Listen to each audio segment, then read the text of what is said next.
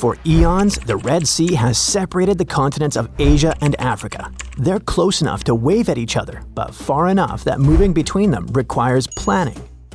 Ferries do the job, but it's time for something better.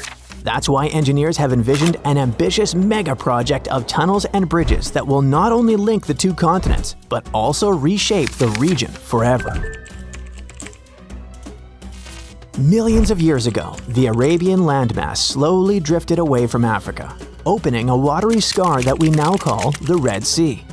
This place is famous for its crystal clear water that looks filtered even when it isn't as well as for coral reefs that seem to be painted by an overachieving artist. Let's zoom in on one specific location, the Strait of Tiran. Every ship headed toward the upper ports squeezed through this one busy hallway.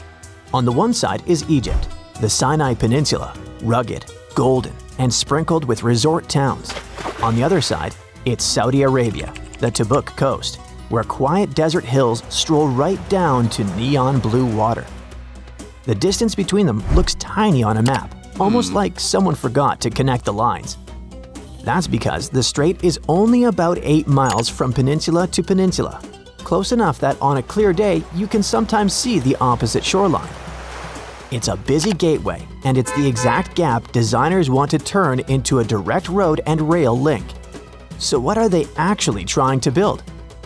The idea is to create one continuous route between the Sinai Peninsula and the Tabuk coast. Engineers are still deciding whether it hmm. should be a bridge, a tunnel, or a hybrid, the combination of two. The problem is under the water. Near the shore, the bottom is shallow enough to support strong columns, but as you move farther out, the seabed drops quickly until it reaches about 900 feet. It's almost like walking off an underwater cliff, that sudden plunge is too deep for standard bridge supports. The design has to adjust to the landscape instead of forcing one shape across the whole gap. If they go with a bridge, the builders would place huge steel tubes called caissons on the seafloor. Think of them as giant metal buckets. Once they're in position, the water gets pumped out so crews can build a dry foundation inside. Concrete turns that space into a pillar rising from the seabed the floating cranes drop long road sections between those pillars like puzzle pieces. It works well in shallow areas, but anchoring becomes difficult in deep waters due to high pressure, soft ground, and strong waves. Tunnels avoid this by going under the problem, literally. Crews can send tunnel boring machines called worms, or they can build submarine-sized tunnel segments on land and sink them into place. It's the same trick used in the Hong Kong Zhuhai Macau Megalink, which proves it works even in busy, deep water. Now, people might look at the map and think, 8 hmm. miles? That doesn't sound so bad. In reality, it's nothing like tossing a giant tree trunk over a river and calling it a bridge. Cars, buses, and trains need those long, slow, friendly ramps that don't feel like a roller coaster. By the time you build those ramps on both sides, the whole thing could stretch to nearly 20 miles. That puts it in the same club as giants like the Chesapeake Bay Bridge Tunnel in the US or the King Fahd Causeway between Saudi Arabia and Bahrain. But it's not just the scale or unpredictable seabed that makes this intercontinental project challenging. There's also the climate. Temperatures regularly pass 100 degrees Fahrenheit. Concrete dries faster than planned, so crews have to cool it or work in shorter windows. Steel stretches in the heat just enough to make precise work annoying. And workers themselves cannot stand in direct sunlight for long without feeling like a baked potato. On top of that, the salty sea air chews through metal quicker than most people expect, so the whole structure needs tough protective layers and regular checkup. If this project gets the green light, you're looking at a timeline of several years.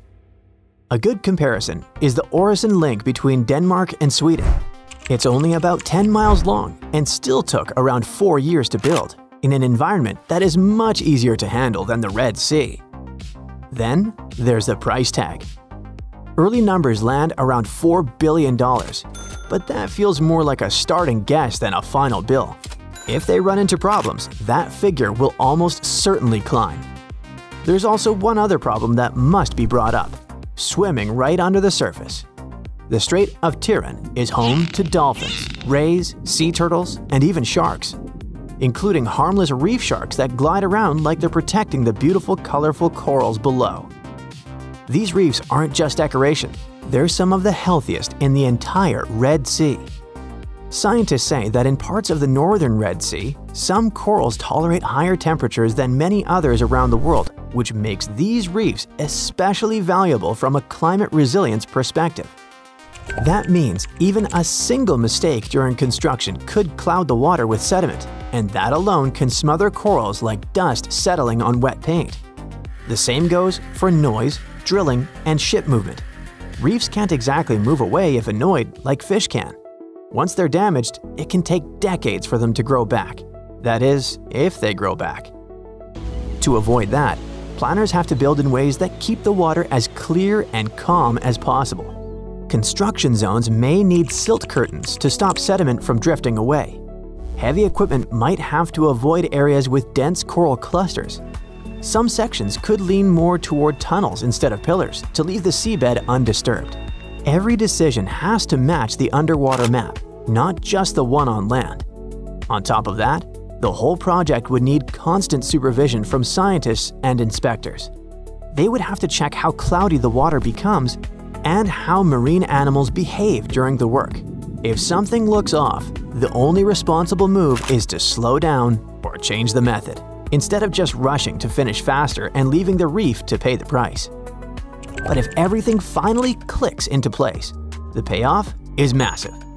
Right now, if you decide to skip the ferry and stay on land, the map punishes you. You have to loop all the way around the top of the Red Sea, through other countries on a drive more than a thousand miles. All of that just to cross a stretch of water that is only a few miles wide at its narrowest point. It's like walking around the entire block just to knock on your neighbor's door. A permanent link would change this. Travel time drops, ports on both sides become easier to reach, and a drive from Africa to Asia suddenly feels as normal as crossing a long highway bridge. Not to mention the coolest part, which would be the view if they decided on the hybrid version, you begin your journey on the Sinai side, with the desert behind you and the Red Sea ahead. Instead of waiting in a ferry line, you roll onto a rising ramp while the water glimmers below. The road dips into a tunnel under a busy shipping lane, and before long, you're back in the sunlight on the other side, now on a different continent. The train version could feel even smoother, you find your seat, the doors close, and the train glides toward the crossing without any stop and go traffic. It slips into its own tunnel section, runs quietly under the sea, and pops back up on the Asian side before you have even finished scrolling your feed. For tourists, that could mean more resorts, more quick weekend trips, and a brand new continental hop that becomes a must try experience. For delivery trucks, every hour saved is money earned even local towns would feel the change. They'd get more visitors, more trade, and bigger profits. A link like this doesn't just connect land, it connects economies, ports, and everyday life. And that's a giant opportunity, as long as the underwater world stays protected. That's it for today. So hey, if you pacified your curiosity, then give the video a like and share it with your friends. Or if you want more, just click on these videos and stay on the bright side.